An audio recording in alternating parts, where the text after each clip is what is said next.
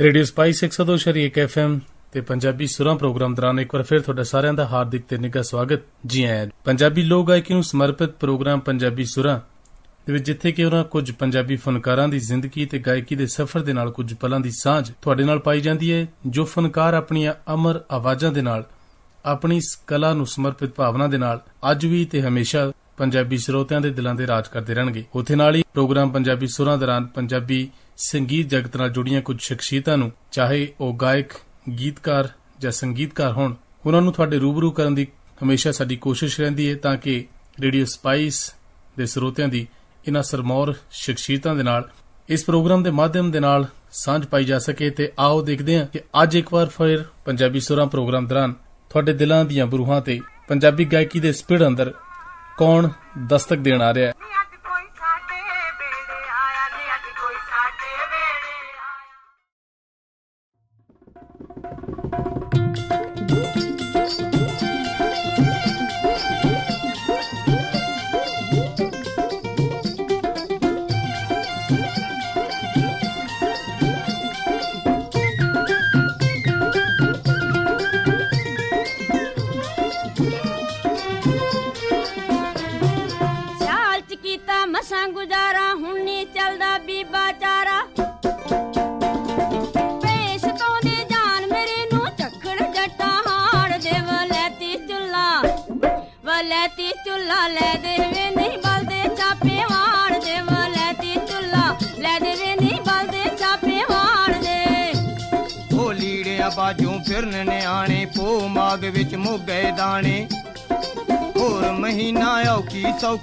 ਸੌਖੀ ਰੋਟੀ ਪਕਾਉਂਦੀ ਰਹੀ? ਹਾੜੀ ਨੂੰ ਹੀਟਰ, ਹਾੜੀ ਨੂੰ ਹੀਟਰ ਲੈ ਦਊਂਗਾ। ਤੂੰ ਬੈਠੀ ਬਟਨ ਦਬਾਉਂਦੀ ਰਹੀ। ਹਾੜੀ ਨੂੰ ਹੀਟਰ ਲੈ ਦਊਂਗਾ। ਤੂੰ ਬੈਠੀ ਬਟਨ ਦਬਾਉਂਦੀ ਰਹੀ।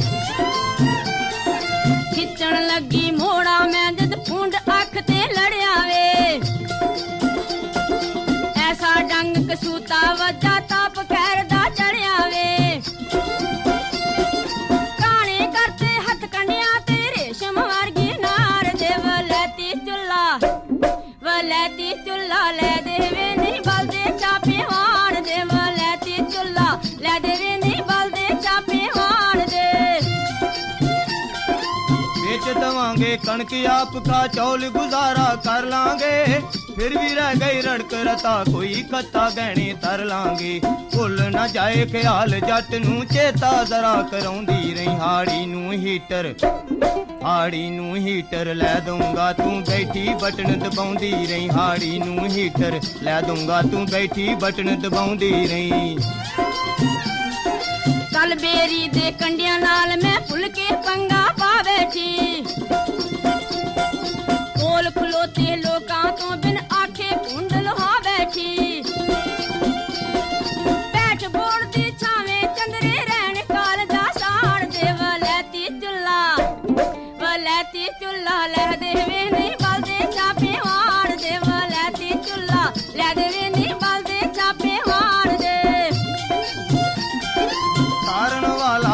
ਸੌਣੀ ਦਾ ਪਿਆ ਜੱਟ ਦਾ ਵਗ ਅਜੇ। ਸੂਬੇ ਜੱਟ ਦੇ ਪੱਲੇ ਅੜੀਏ ਹੁਣ ਤੇ ਹੈ ਨਹੀਂ ਕੱਖ ਅਜੇ। ਬੁੱਢੇ ਵਾਰੇ ਫੱਕਰ ਨੂੰ ਤੂੰ ਐਵੇਂ ਨਾ ਤਰਸਾਉਂਦੀ ਰਹੀ ਹਾੜੀ ਨੂੰ ਹੀਟਰ ਹਾੜੀ ਨੂੰ ਹੀਟਰ ਲੈ ਦਊਂਗਾ। ਤੂੰ ਬੈਠੀ ਬਟਨ ਦਬਾਉਂਦੀ ਰਹੀ। ਵਲੈਤੀ ਚੁੱਲਾ ਲੈ ਦੇਵੇ ਨਹੀਂ ਬਲਦੇ ਛਾਪੇ ਵਾੜ ਦੇ। ਹਾੜੀ ਨੂੰ ਹੀਟਰ ਲੈ ਦਊਂਗਾ। ਤੂੰ ਬੈਠੀ ਬਟਨ ਦਬਾਉਂਦੀ ਰਹੀ।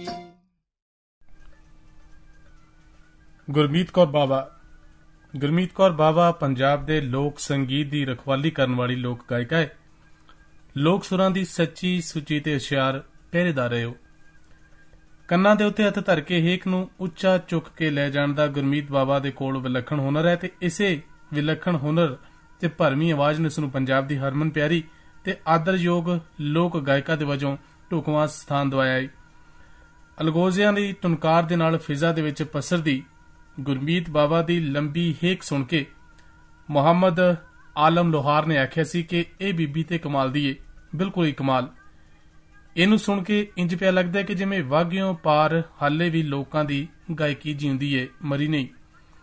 ਤੇ ਗੁਰਮੀਤ ਬਾਵਾ ਨੂੰ ਸੁਣਦਿਆਂ ਨਾਟਕਕਾਰ ਭਾਗ ਸਿੰਘ ਤੋਂ ਇੰਜ ਆਖੇ ਬਿਨਾ ਨਹੀਂ ਸੀ ਰਿਹਾ ਹੋਇਆ ਕਿ ਕੀ ਹੋਇਆ ਜੇਕਰ ਪੰਜਾਬ ਦੇ ਕੋਲ ਉੱਚੇ ਪਹਾੜ ਨਹੀਂ।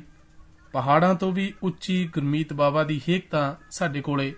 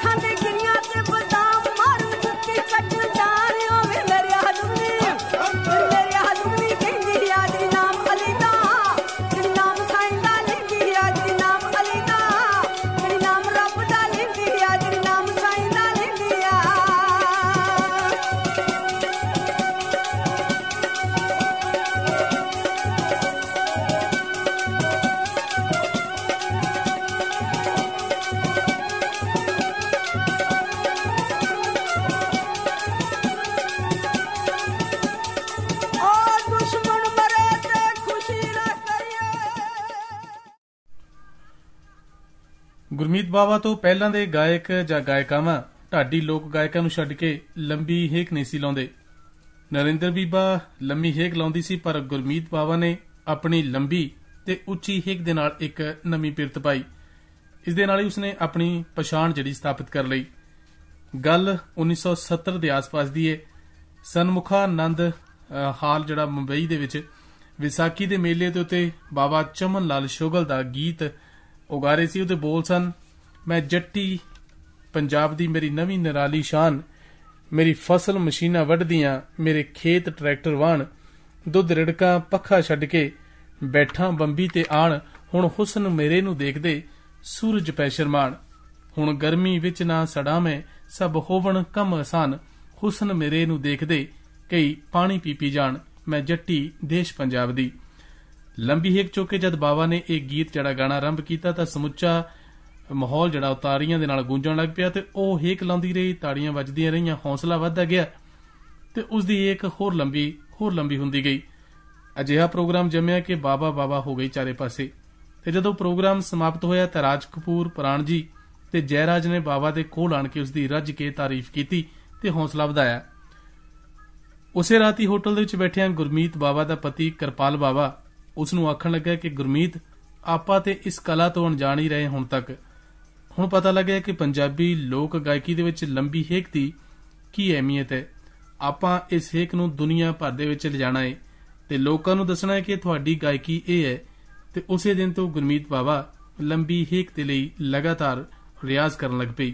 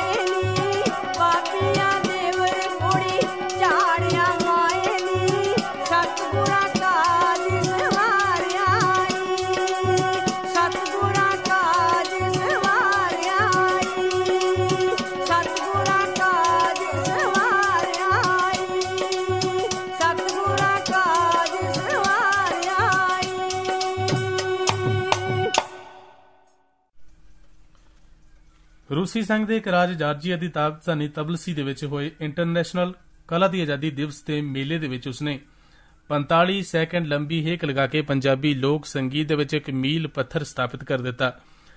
ਲੰਮੀ ਹੇਕ ਗਾ ਕੇ ਹਟਣ ਪਿੱਛੋਂ ਇੱਕ ਰੂਸੀ ਔਰਤ ਦੌੜਦੀ ਹੋਈ ਬਾਬਾ ਦੇ ਪਾਸ ਆਈ ਤੇ ਉਸ ਨੂੰ ਘੁੱਟ ਕੇ ਜੱਫੀ ਪਾ ਲਈ ਤੇ ਆਪਣੀ ਘੜੀ ਦੇ ਵੱਲ ਦੇਖ ਕੇ ਬੋਲੀ ਕਿ, madam, you world big lady 45 second. ਇਹ ਆਖ ਉਸ ਰੂਸੀ ਔਰਤ ਨੇ ਆਪਣੇ ਗੁੱਟ ਤੋਂ ਘੜੀ ਉਤਾਰ ਕੇ ਬਾਬਾ ਨੂੰ ਪਹਿਨਾ ਦਿੱਤੀ ਤੇ ਖੂਬ ਹੱਸੀ। ਲੰਬੀ ਹੇਕ ਗੁਰਮੀਤ ਬਾਬਾ ਦਾ ਟ੍ਰੇਡਮਾਰਕ ਹੈ ਤੇ ਗੁਰਮੀਤ ਬਾ- ਬਾਬਾ ਦਾ ਜਨਮ ਸਨ 1944 ਦਾ ਹੈ। ਪਿਤਾ ਦਾ ਨਾਂ ਸਰਦਾਰ ਉਤਮ ਸਿੰਘ, ਮਾਂ ਦਾ ਨਾਂ ਰਾਮਕੌਰ ਪੱਕਾ ਪਿੰਡ ਕੋਠਾ, ਜੋ ਕਿ ਆਲੀਵਾਲ ਨੇੜੇ ਗੁਰਦਾਸਪੁਰ ਜ਼ਿਲ੍ਹਾ, ਉਸਨੇ ਮੈਟ੍ਰਿਕ ਦੇ ਪਿੱਛੋਂ ਜੀਵੀਟੀ ਕੀਤੀ ਤੇ ਘਰ ਦੇ ਵਿੱਚ ਕੋਈ ਹੋਰ ਨਹੀਂ ਸੀ ਗਾਉਂਦਾ ਸਿਰਫ ਵਿਆਹ ਸ਼ਾਦੀ ਦੇ ਮੌਕਿਆਂ ਦੇ ਉੱਤੇ ਇਕੱਠੀਆਂ ਹੋ ਕੇ ਕੁੜੀਆਂ ਜਾਂ ਬਜ਼ੁਰਗ ਔਰਤਾਂ ਗਾ ਲੈਂਦੀਆਂ ਸਨ। ਗੁਰਮੀਤ ਬਾਬਾ ਆਪਣਾ ਸ਼ੌਂਕ ਪੂਰਨ ਦੇ ਲਈ ਕੇਵਲ ਘਰ ਦੇ ਵਿੱਚ ਹੀ ਗਾਉਂਦੀ ਸੀ ਤੇ ਜੀਬੀਟੀ ਕਰਨ ਦੇ ਪਿੱਛੋਂ ਉਹ ਅਧਿਆਪਕਾ ਲੱਗ ਗਈ। ਇਸ ਦੇ ਨਾਲ ਹੀ ਉਸ ਦਾ ਵਿਆਹ ਇੱਕ ਸੂਝਵਾਨ ਸੰਗੀਤ ਪਾਰਖੂ ਅਤੇ ਅਧਿਆਪਕ ਕਿਰਪਾਲ ਬਾਬਾ ਦੇ ਨਾਲ ਹੋ ਗਿਆ। ਕਿਰਪਾਲ ਬਾਬਾ ਨੇ ਵਿਆਹ ਤੋਂ ਪਹਿਲਾਂ 1960 ਦੇ ਵਿੱਚ ਚੰਡੀਗੜ੍ਹ ਰੰਗ ਮੰਚ ਦੇ ਵੱਲੋਂ ਕਰਵਾਏ ਗਏ ਲੋਕ ਗੀਤਾਂ ਦੇ ਮੁਕਾਬਲਿਆਂ ਦੌਰਾਨ ਹੀਰ ਗਾ ਕੇ 골ਡ ਮੈਡਲ ਜਿੱਤਿਆ ਸੀ ਤੇ ਗੁਰਮੀਤ ਬਾਬਾ ਨੂੰ ਅਧਿਆਪਕਾਂ ਦੀਆਂ ਮਾਸਿਕ ਇਕੱਤਰਤਾਵਾਂ ਦੇ ਵਿੱਚ ਗਾਉਂਦੀ ਹੋਈ ਸੁਣ ਚੁੱਕਾ ਸੀ।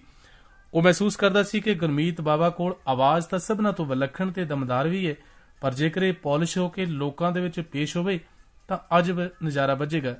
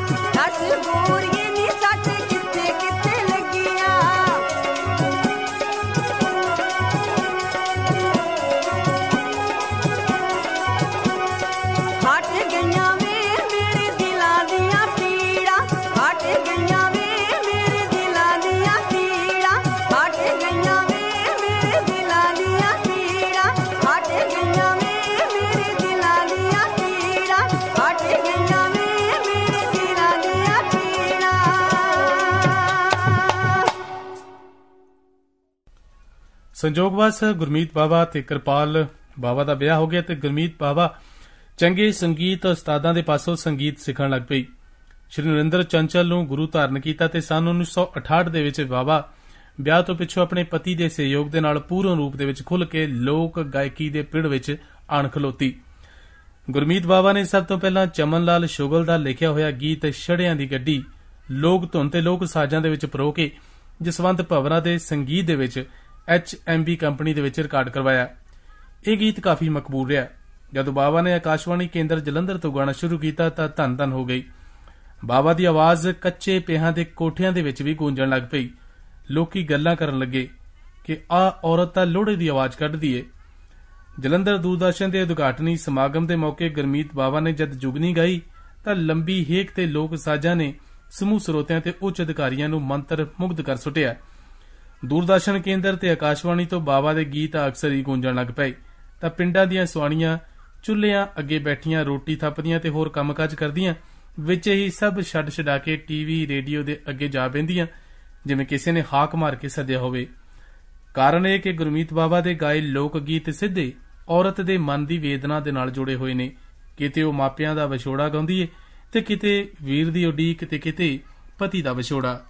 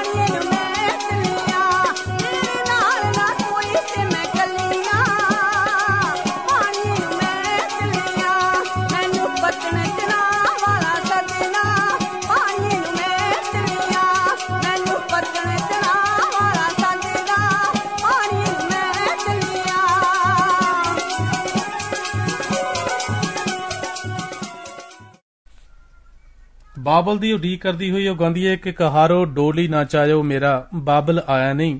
ਵੀਰਾ ਦੂਰ ਖੜਾ ਰੋਵੇ, ਕਿਸੇ ਨੇ ਚੁੱਪ ਕਰਾਇਆ ਨਹੀਂ।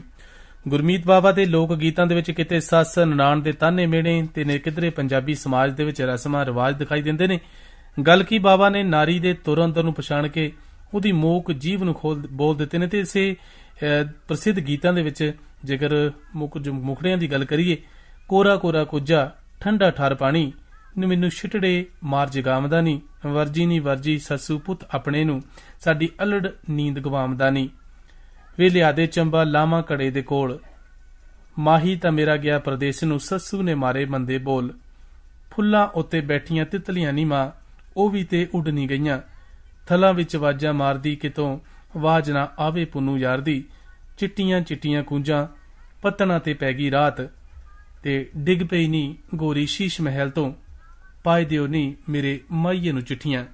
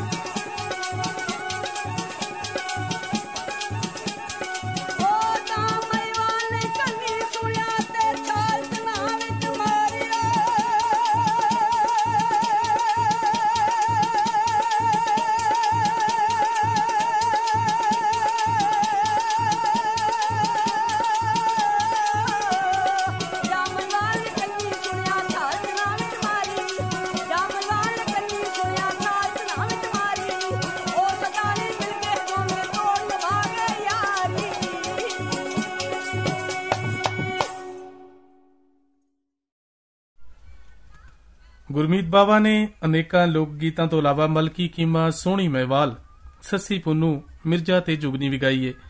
ਚਮਨ ਲਾਲ ਸ਼ੁਗਲ, ਚੰਨ ਗੁਰਾਇਆ ਵਾਲਾ ਪ੍ਰੇਮੀ ਜੰਡਿਆਲੇ ਵਾਲਾ ਤੇ ਸੂਬਾ ਕਮਾਲਪੁਰੀ ਦੇ ਗੀਤਾਂ ਨੂੰ ਉਸਨੇ ਆਵਾਜ਼ ਦਿੱਤੀ ਏ। ਗੁਰਮੀਤ ਬਾਵਾ, ਰੂਸੀ ਸੰਘ ਤੇ ਉਜ਼ਬੇਕਿਸਤਾਨ ਤਜਾਕਿਸਤਾਨ, ਤੁਰਮੇਕਿਸਤਾਨ, ਜਾਰਜੀਆ ਤੇ ਮਾਸਕੋ ਦੇ ਵਿੱਚ ਭਾਰਤ ਸਰਕਾਰ ਦੇ ਵੱਲੋਂ ਲਗਾਏ ਗਏ ਸੱਭਿਆਚਾਰਕ ਤੇ ਲੋਕ ਗਾਇਕੀ ਦੇ ਸਮਾਗਮ ਦੇ ਵਿੱਚ ਸ਼ਿਰਕਤ ਕਰ ਚੁੱਕੀ ਏ। ਇਸ ਤੋਂ ਇਲਾਵਾ ਉਹ ਜਾਪਾਨ, ਲੀਬੀਆ, ਸੀਰੀਆ, ਥਾਈਲੈਂਡ ਆਦਿ ਮੁਲਕਾਂ ਦੇ ਵਿੱਚ ਵੀ ਭਾਰਤ ਸਰਕਾਰ ਦੀ ਤਰਫੋਂ ਜਾ ਕੇ ਗਾ ਚੁੱਕੀ ਏ। 1998 ਦੇ ਕਾਮਨਵੈਲਥ ਗੇਮਸ ਦੇ ਕਲਚਰ ਫੈਸਟੀਵਲ ਦੇ ਵਿੱਚ ਭਾਰਤ ਸਰਕਾਰ ਦੇ ਵੱਲੋਂ ਨੁਮਾਇੰਦਗੀ ਕੀਤੀ ਤੇ ਭਾਰਤ ਸਰਕਾਰ ਦੀ ਇੱਕ ਸੰਸਥਾ ਦੇ ਸੱਦੇ ਦੇ ਉੱਤੇ 2003 ਵਿੱਚ ਪ੍ਰੋਗਰਾਮ ਪੇਸ਼ ਕਰਨ ਦੇ ਲਈ ਗਈ। 1988 ਦੇ ਵਿੱਚ ਜਾਪਾਨੀਆਂ ਨੇ ਟੋਕੀਓ ਦੇ ਵਿੱਚ ਸਰਕਾਰੀ ਤੌਰ ਤੇ ਬਾਬਾ ਦੇ ਗਾਏ ਗੀਤਾਂ ਦੀ ਸੀਡੀ ਰਿਲੀਜ਼ ਕੀਤੀ। ਗੁਰਮੀਤ ਬਾਬਾ ਪੰਜਾਬੀ ਫਿਲਮਾਂ, ਸਰਪੰਚ, ਲਾਜੋ, ਬਲਬੀਰੋ ਭਾਬੀ, ਬਦਲਾ ਅਤੇ ਜੋਰਾ ਜੱਟ ਦੇ ਵਿੱਚ ਵੀ ਗਾ ਚੁੱਕੀ ਏ। ਇਸ ਗਾਣੇ ਦੇ ਲਈ ਉਸ ਨੂੰ ਪੰਜਾਬੀ ਨਾਟਿਆ ਸੰਘ ਚੰਡੀਗੜ੍ਹ ਦੇ ਵੱਲੋਂ ਬੈਸਟ ਪਲੇਬੈਕ ਸਿੰਗਰ ਦਾ ਅਵਾਰਡ ਵੀ ਮਿਲਿਆ। 1991 ਦੇ ਵਿੱਚ ਉਸ ਨੂੰ ਪੰਜਾਬ ਸਰਕਾਰ ਨੇ ਸਟੇਟ ਅਵਾਰਡ ਦੇ ਨਾਲ ਸਨਮਾਨਿਆ।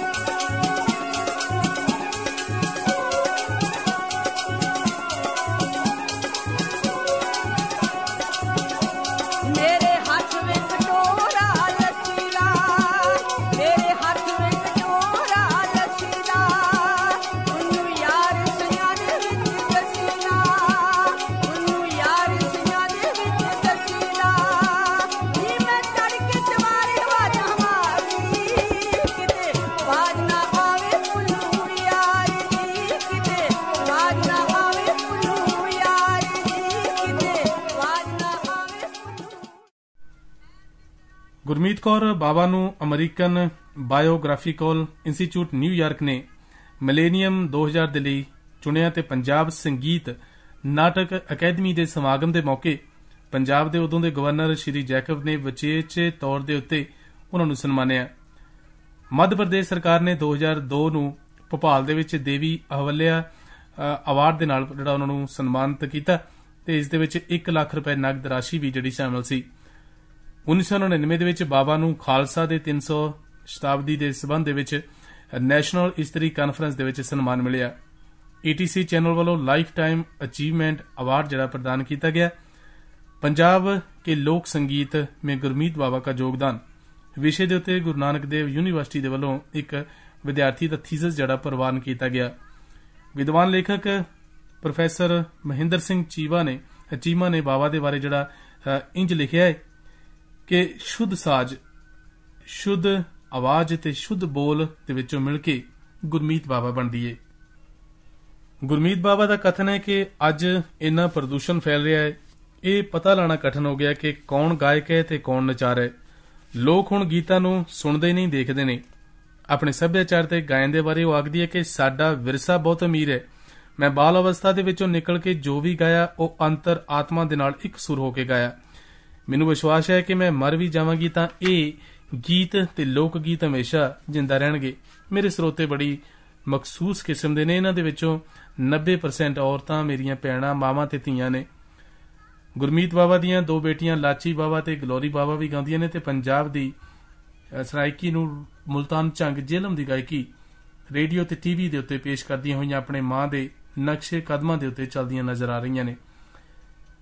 ਜਦ ਗੁਰਮੀਤ ਬਾਬਾ ਗਾਉਣ ਦੇ ਲਈ ਸਟੇਜ ਦੇ ਉੱਪਰ ਜਾਂਦੀ ਹੈ ਤੇ ਉਹਦੇ ਚਿਹਰੇ ਦੇ ਉੱਪਰ ਇੱਕ ਅਨੋਖਾ ਜਿਹੜਾ ਜਲੌਸ਼ ਆ ਜਾਂਦਾ ਤੇ ਉਹਦੀਆਂ ਅੱਖਾਂ ਚਮਕਣ ਲੱਗ ਪੈਂਦੀਆਂ ਨੇ। ਅਲਗੋਜ਼ੀਆਂ ਵਾਲਾ ਲਗੋਜ਼ੇ ਤੇ ਚਾਚਾ ਚਿਮਟੇ ਵਾਲਾ ਆਪਣਾ ਚਿਮਟਾ ਘਮਾਉਂਦਾ ਏ ਬਾਬਾ ਹੀਕ ਚੁੱਕਦੀ ਏ ਲੋਕ ਸਾਜ਼ਾਂ ਦੀ ਸ਼ਨਕਾਰ ਸੁਣਦਿਆਂ ਸਰੋਤੇ ਵਜੇ ਦੇ ਵਿੱਚ ਆ ਜਾਂਦੇ ਨੇ ਤੇ ਵਾਹ ਕਰ ਉੱਠਦੇ ਨੇ।